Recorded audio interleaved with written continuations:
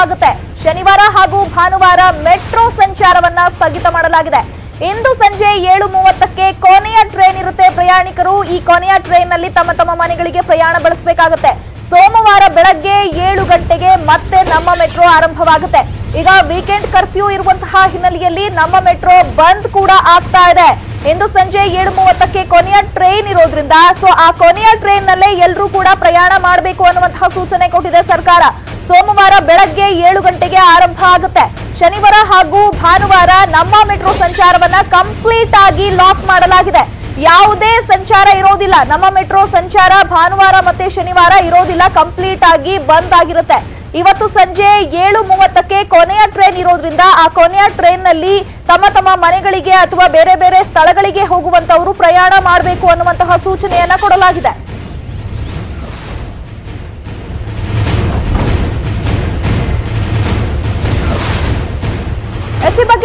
ಬಗ್ಗೆ ಮಾಹಿತಿಯನ್ನು ಕೊಡ್ತಾರೆ ನಮ್ಮ ಪ್ರತಿನಿಧಿ ಶರಣು ಹಂಪಿ. ಶರಣು, ಇದೀಗ ಇವತ್ತು ಸಂಜೆ ಏಳು ಮೂವತ್ತಕ್ಕೆ ಕೊನೆಯ ಟ್ರೈನ್ ಇರುತ್ತೆ. ಸೊ ಈ ಒಂದು ಮಾಹಿತಿ ಈಗ ಲಭ್ಯವಾಗಿರುವಂತದ್ದು. ಸೊ ಈಗ ಎಲ್ಲಾ ಪ್ರಯಾಣಿಕರು ಇದರಲ್ಲಿ ಸೆವೆನ್ ಥರ್ಟಿ ಟ್ರೈನ್ನಲ್ಲಿ ಪ್ರಯಾಣ ಬಳಸ್ತಿದ್ದಾರಾ? ಈಗ ಅಲ್ಲಿನ ಪ್ರಯಾಣಿಕರು ಏನ್ ಹೇಳ್ತಾರೆ? ಚೈತ್ರ ವೀಕೆಂಡ್ ಕರ್ಫ್ಯೂ ಹಿನ್ನೆಲೆಯಲ್ಲಿ ನಾಳೆ ಮತ್ತು ನಾಡಿದ್ದು ಎರಡು ದಿನನೂ ಕೂಡ ಅಗತ್ಯ ವಸ್ತುಗಳಿರುವಂತ ಶಾಪ್ಗಳು ಮಾತ್ರ ತೆರೆದಿರುತ್ತೆ. ಅದು ಆರು ಗಂಟೆಯಿಂದ ಹತ್ತು ಗಂಟೆ. ಸೊ ಈ ಹಿನ್ನೆಲೆಯಲ್ಲಿ ಹೆಚ್ಚಿನ ಜನ ಓಡಾಟ ಇಲ್ಲದಿರೋ ಕಾರಣಕ್ಕಾಗಿ ಬಿಎಂಆರ್ಸಿಯಲ್ಲಿ ಈ ಪ್ರಕಟಣೆಯನ್ನ ಹೊರಡಿಸಿದೆ ನಾಳೆ ಮತ್ತು ನಾಡಿದ್ದು ಎರಡು ದಿನನೂ ಕೂಡ, ಶನಿವಾರ ಮತ್ತು ಭಾನುವಾರ ಎರಡು ದಿನನೂ ಕೂಡ ನಮ್ಮ ಮೆಟ್ರೋ ಸೇವೆ ಇರೋದಿಲ್ಲ.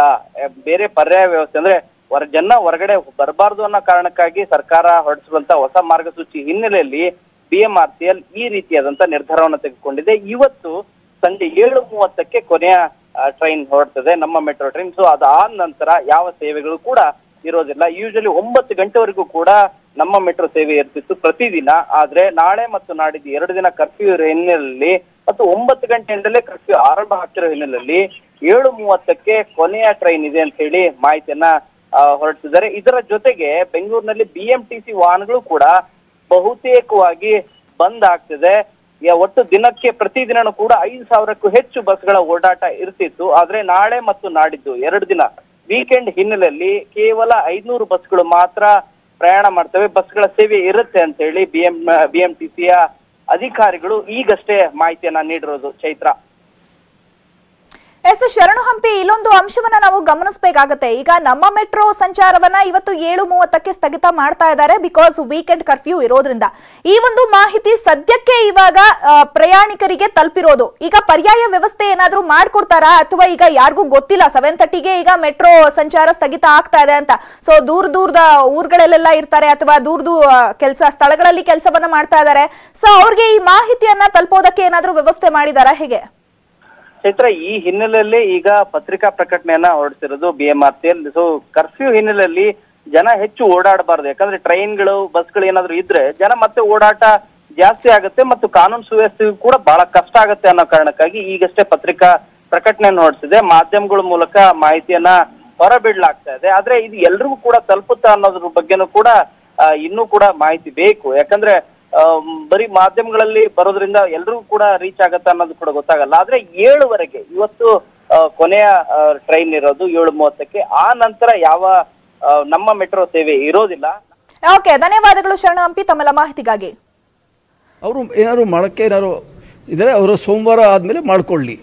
ಮುಂಚೆ ಮಾಡಬೇಕಾಗಿತ್ತು ಆಮೇಲೆ ಮಾಡಬಹುದು. ಆದಷ್ಟು ಅಲ್ಲಿ ಹೊರಗಡೆ ಬರಬಾರ್ದು ಅಂತ ಇದೇ ಅವ್ರದ್ದು ಪ್ರಯತ್ನ ಇರಬೇಕು. ಸರ್, ಈಗ ಅಂತರ್ ಜಿಲ್ಲೆಗಳಿಗೆ ಓಡಾಟ ಮಾಡಲಿಕ್ಕೆ ಬಸ್ಗಳ ವ್ಯವಸ್ಥೆ ಕೂಡ ಕಲ್ಪಿಸೋದು ಹಾಗಾಗಿ ಒಂದಷ್ಟು ವಾಹನಗಳು ಓಡಾಟ ಇಲ್ಲ, ಈಗ ಯಾರು ಹೋಗೋದ್ರೆ ಅಂತ ಎಮರ್ಜೆಂಟ್ ಇದ್ರಕ್ಕಿಂತ ನೀವು ಪ್ಲಾನಿಂಗ್ ಮಾಡಿಕೊಂಡು ಇವತ್ತು ರಜಾ ಶುರು ಆಗ್ತಾ ಇದೆ, ನಾಳೆ ನಾಡಿದ್ದು. ಹೋಗೋರು ಇದ್ರೆ ಇವತ್ತು ಹೋಗ್ಬೋದಿಲ್ಲ.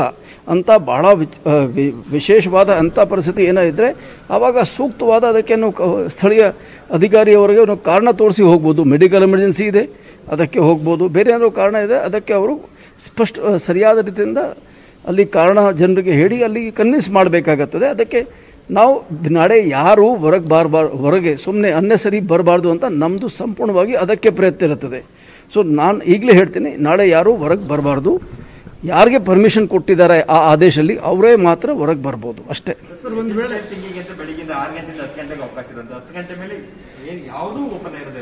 ಇಲ್ಲ ಇರಲ್ಲ. ಇದು ಎಸೆನ್ಷಿಯಲ್ಸ್ಗೆ ಯಾವ ಕಾನೂನು ಪ್ರಕಾರ ಈ ಸಲ ಈ ಮಾಡಿರೋ ಆದೇಶ ಭಾಳ ಸ್ಪಷ್ಟವಾಗಿದೆ. ಇದು ಈ ಆದೇಶದಿಂದ ಯಾವ ಥರದ್ದು ಇದಕ್ಕೆ ಗೊಂದಲ ಇರಲಿಕ್ಕೆ ಅವಕಾಶನೇ ಇಲ್ಲ. ಜನ ಸರಿಯಾಗಿ ಇದನ್ನು ಅರ್ಥ ಮಾಡಬೇಕು. ಮತ್ತು ಹೊರಗಡೆ ಬರ್ಲಿ ಬರಲಿಕ್ಕೆ ನೆಪ ಇದಕ್ಕೆ ಯಾವ ಥರ ನೆಪ ಹುಡುಕಬಾರ್ದು ಅಷ್ಟೇ ನಾನು ಹೇಳ್ತಾ ಇದ್ದೀನಿ. ಸರ್ ಒಂದು ವೇಳೆ ಅನಗತ್ಯವಾಗಿ ಬಂದಂಥ ಸಂದರ್ಭದಲ್ಲಿ ನಿಮ್ಮ ಆಕ್ಷನ್ ಏನಿರುತ್ತೆ ಇಲ್ಲ ಆ್ಯಕ್ಷನ್ದು ನೋಡಿ ಪ್ರತಿ ನಮಗೆ ಹೇಳೋದು ಆ್ಯಕ್ಷನ್ ಇವ್ರಿಗೆ ಕಾನೂನು ರೀತಿ ಅವ್ರಲ್ಲಿ ಏನು ಫೈನ್ ಆಗಬೇಕು ಕೇಸ್ ಆಗಬೇಕು ಗಾಡಿ ಸೀಸ್ ಆಗಬೇಕು ಜಪ್ತಿ ಆಗಬೇಕು ನಾವು ಕ್ರಮ ತಗೊಳ್ತೀವಿ.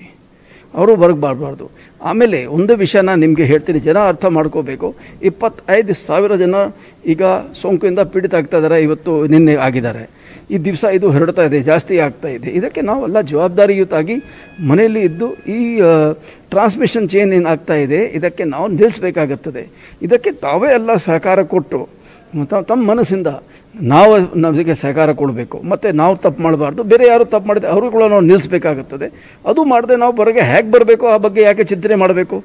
ಅಂಥ ಪರಿಸ್ಥಿತಿ ಇದ್ದಾಗ ಈಗ ಏನಾದ್ರು ಮೆಡಿಕಲ್ ಎಮರ್ಜೆನ್ಸಿ ಇದ್ದರೆ ಅಲ್ಲ, ಅದಕ್ಕೆ ಸಪ್- ಸಂಪೂರ್ಣ ವ್ಯವಸ್ಥೆ ಇದೆ. ಒನ್ ನಾಟ್ ಏಯ್ಟ್ ಇದೆ. ಅಲ್ಲ, ಯಾರು ಬಂದು ಮಾಡ, ಅದಕ್ಕೆ ಯಾರು ಸ್ಪಂದಿಸ್ತಾರೆ.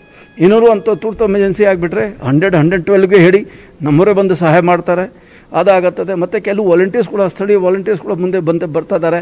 ಅಂದರೆ ತಮ್ಮ ತಮ್ಮ ಕ್ಷೇತ್ರದಲ್ಲಿ ಅವರು ಜನರಿಗೆ ಈ ಬಗ್ಗೆ ಏನಾದ್ರು ಸಹಾಯ ಇದ್ದರೆ ಅವರು ಮಾಡೋಕ್ಕೆ ಅವ್ರು ರೆಡಿ ಇದ್ದಾರೆ ಈ ಥರ ಎಲ್ಲ ವ್ಯವಸ್ಥೆ ಇದೆ. ನಾವು ಜನರಿಗೆ ಅವಕಾಶ ಇದೆ ಮೊದಲೇ ಫಿಕ್ಸ್ ಈಗ ಇಲ್ಲ ಈಗ ಸ್ಥಳೀಯ ಆ ಏರಿಯಾ ಒಳಗೇನೆ ಅವ್ರದ್ದು ಮದುವೆ ಮಾಡಲಿಕ್ಕೆ ಆ ಕ್ಷೇತ್ರದಲ್ಲಿ ಹೋಗಬೇಕು. ಮನೆಯಿಂದ ಕಲ್ಯಾಣ ಮಂಟಪ ನಡ್ಕೊಂಡು ಹೋಗೋದ್ರೆ ಒಂದು ವಿಷಯ ಬೇರೆ. ನನಗೆ ಕೆಲವು ಕೇಳಿದ್ದಾರೆ, ನಾನು ಸ್ಪಷ್ಟವಾಗಿ ಹೇಳಿದ್ದೀನಿ, ನೀವು ಒಂದು ದಿವಸ ಮುಂಚೆನೇ, ಅಂದರೆ ಶುಕ್ರವಾರನೇ ಅಲ್ಲಿ ಅಲ್ಲಿ ವಾಸ ಮಾಡಿ. ಮತ್ತು ಶನಿವಾರ ಸೋಮವಾರ ಬೆಳಗ್ಗೆ ಅಲ್ಲಿಂದ ಹೋಗಿ ಅಂತ ನಂದು ಎಲ್ಲರಿಗೆ ಸಲಹೆ ಇದೆ. ಈ ಐವತ್ತು ಜನ ಒಂದು ಕಾರ್ಡ್ ತಗೊಂಡು, ಅದೇ ನಾವು ಇಡೀ ಊರಲ್ಲಿ ತಿರುಗಾಡಿದೆ ಅದಕ್ಕೆ ಹೇಗಾಗುತ್ತದೆ? ಹೋದ ಸಲ ಕೆಲವು ನಮ್ಮ ಗಮನಿಗೆ ಬಂದಿದಂದರೆ ಸುಮ್ಮನೆ ಇದು ಬೇರೆ ಕಂಪನಿಗಳು ಹೆಸರಿನಲ್ಲಿ ಪಾಸ್ ತಗೊಂಡು ಆಮೇಲೆ ಈ ಹೋಮ್ ಡೆಲಿವರಿ ಐಟಮ್ಸ್ಗೆ ಹೆಸರು ಕಂಪನಿಗಳದ್ದು ಜಿ ಟಿ ಶರ್ಟ್ ಹಾಕ್ಕೊಂಡು ಓಡಾಡಿದ್ದಾರೆ ಅಂತ ಇದು ಕೂಡ ಪ್ರಸಂಗ ಬಂದಿದೆ.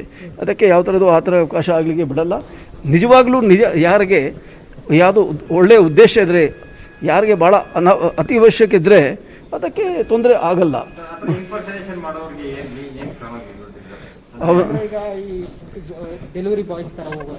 ಇಲ್ಲ ಅರೆಸ್ಟ್ ಅರೆಸ್ಟ್ ಆದರೆ ಏನೋ ನೋಡಿ ಇದಕ್ಕೆ ಅರ್ಥ ಮಾಡ್ಕೋಬೇಕು. ಈ ಥರ ಮಾಡೋರು ನಮ್ಮ ಸಮಾಜದಲ್ಲಿ ಜನರದು ಈಗ ಸುರಕ್ಷತೆ ಬಗ್ಗೆ ಗಮನ ಕೊಡದೆ ಲಕ್ಷ್ಯ ಕೊಡದೆ ಈ ಥರ ಅವ್ರದ್ದು ಈ ಥರಕ್ಕೆ ಭಾಳ ಲಘುವಾಗಿ ಯಾರು ಪಡಗಿಸ್ತಾರೆ ಅವ್ರ ಮೇಲೆ ನಾವು ಕಠಿಣವಾದ ಕ್ರಮ ತಗೊಳ್ತೀವಿ. ಈ ವ್ಯವಸ್ಥೆಯನ್ನು ಮಾಡೋ ಸಲುವಾಗಿ ನಮ್ಮ ಸಾವಿರಾರು ಜನ ಪೊಲೀಸವರು ಬಿ ಬಿ ಎಂ ಪಿ ಅವರ ಅಧಿಕಾರಿಯವರು ಹೆಲ್ತ್ ಹೆಲ್ತ್ ವರ್ಕರ್ಸು ಎಲ್ಲ ಇದಕ್ಕೆ ಇಷ್ಟು ಶ್ರಮ ವಹಿಸ್ತಾರೆ. ಯಾರೊಬ್ಬರು ಇದು ದುಶ್ಚೇಷ್ಟೆ ಮಾಡಿದರೆ ಅವ್ರ ಮೇಲೆ ಕಠಿಣವಾದ ಕ್ರಮವನ್ನು ತಗೊಳ್ತೀವಿ. ಥ್ಯಾಂಕ್ ಯು ಥ್ಯಾಂಕ್ ಯು ನಿಮ್ಮೆಲ್ಲರದು ಸಹಕಾರ ಬೇಕು. ಖಂಡಿತ ಸಹಕಾರ ಬೇಕು. ಮಹಾರಾಷ್ಟ್ರದಲ್ಲಿ